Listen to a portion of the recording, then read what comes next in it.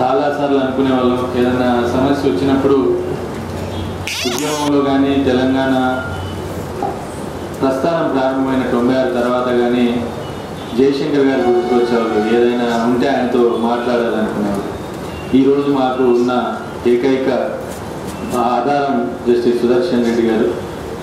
సుదర్శన్ రెడ్డి గారిని అడగగానే ఈ సమావేశానికి అంగీకరించడం జరిగింది. ఆయన ఆరోగ్యం పూర్తిగా కుదుట పడలేదు. అయినప్పటికీ అవసరాన్ని దృష్టిలో పెట్టుకొని వచ్చినందుకు విద్యావంతుల వేదిక తరఫున మరొకసారి ఆయనకు కృతజ్ఞతలు తెలియజేస్తున్నాం. ముఖ్యంగా దీనికి సంబంధించిన అనేక విషయాలు సార్ మాట్లాడతారు ఆ జోలికి వెళ్ళాం కానీ ఒకే విషయం చెప్పి నేను ముగిస్తాను. ఇండియాలో భారత రాజ్యాంగం ఉంది భారత రాజ్యాంగం అమల్లో ఉన్నది. భారత రాజ్యాంగంలో మూడు వందల డెబ్బైకి పైగా ఆర్టికల్స్ అమల్లో ఉన్నాయి. అందులో గవర్నర్స్ ఒక విధులు కూడా అమల్లో ఉన్నాయి. ఆదేశిక సూత్రాలు అమల్లో ఉన్నాయి.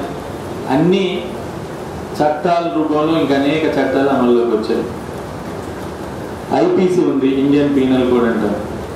ఇండియన్ పీనల్ కోడ్లో త్రీ నాట్ టూ కూడా అమల్లో ఉంది ఇండియాలో. ఆ త్రీ నాట్ టూ అమలు చేయమంటే నేరం జరగక ముందు ఎట్లా అమలు చేస్తారో నాకు అర్థం కాదు. తెలంగాణలో త్రీ నాట్ టూ అమలు చేయండి అని అంటే ఎంతమంది వదిలేయాలి? ఏ ఏ హత్య జరిగింది? అట్లనే ఉంది. సెక్షన్ ఎయిట్ అమలు చేయడం అనేది. సెక్షన్ ఎయిట్ చట్టం అమల్లో ఉంది కాబట్టి సెక్షన్ ఎయిట్ అమల్లో ఉంటుంది. అది ఎప్పుడు అమల్లోకి లేదు ఎప్పుడు దాన్ని ఫోర్స్లోకి తెస్తాం అంటే ఎప్పుడు దాని మీద ఆ కార్యాచరణ మొదలవుతుంది అంటే అది ఉల్లంఘన జరిగినప్పుడు. అంటే ఎక్కడైనా అరాచకం జరిగినప్పుడు ఎవరైనా ఆస్తులు కొల్లగొడుతున్నప్పుడు ఇంకెక్కడైనా దుమ్మి దొమ్మి జరిగినప్పుడు దానకాండ దమనకాండ జరిగినప్పుడు ఆ సెక్షన్ ఎయిట్లో ఏముందో చేస్తారు. సెక్షన్ ఎయిట్లో ఏముంది? ఒకవేళ శాంతి భద్రత భంగం కలిగితే గవర్నర్ జోక్యం చేసుకోవాలి.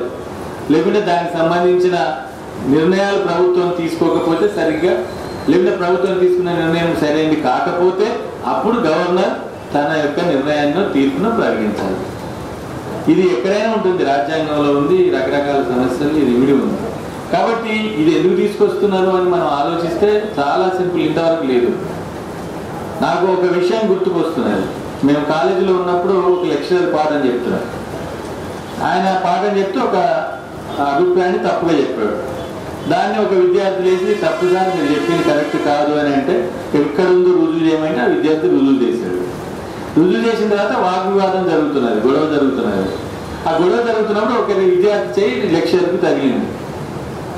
అది ఆ తప్పు చర్చ పోయింది. నువ్వు నాకు చేయనగిలిచ్చినవనే మొదలైంది రుజువు ఇప్పుడు రేవంత్ రెడ్డి అరెస్ట్ అయ్యాడు నోట్లు దొరికినాయి ఆయన జైల్లో ఉన్నాడు.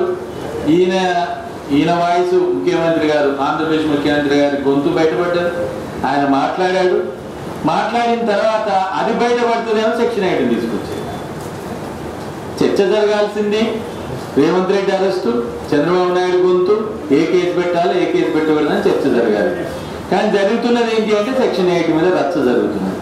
కాబట్టి చర్చ పోయి రచ్చ మొదలైంది. కాబట్టి అందుకే ఈ విషయాలు అన్నిటికి సంబంధించిన విషయాలు అది కాన్స్టిట్యూషన్ రాజ్యాంగం లేకుంటే చట్టాలు వీటన్నిటి విషయాలన్నింటినీ జస్టిస్ సుదర్శన్ రెడ్డి గారి నోట వినాలని ఈ సమావేశాన్ని ఏర్పాటు చేయడం జరిగింది. కాబట్టి ఆయన వినడానికి నేను కూడా విరమించుకున్నాను thank you thank you sir